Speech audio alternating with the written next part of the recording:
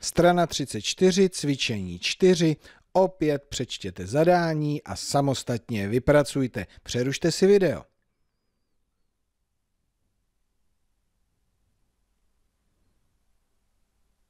Máme hotovo? No, doufám, že jste tyhle ty příklady nepočítali písemným dělením a že jste to dokázali v hlavě. Jak? No přece 42 děleno třemi rozložím na 30 a 12, takže 30 to je 10, 12 to jsou 4, 14. 28 děleno dvěma, 20 to je děleno dvěma 10, 8 děleno dvěma Eh, to jsou 4, zase 14. 770 eh, děleno 70, 70 eh, nuly pryč, 70 děleno 7, to je jasný, to je 11.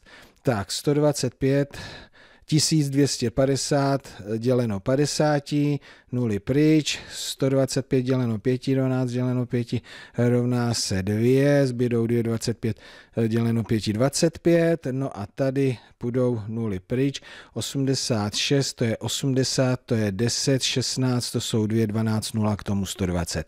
Tak, dalo se to vypočítat velice rychle, doufám, že jsem se nikde nepřeřekl. Tak, tady to máme dobře, no a vy si dokontrolujte ještě ten zbytek.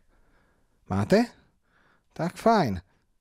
A byla tam nějaká chyba? Hmm, tak to bys chtělo si najít nějaké video, kde vám to bude znovu vysvětleno.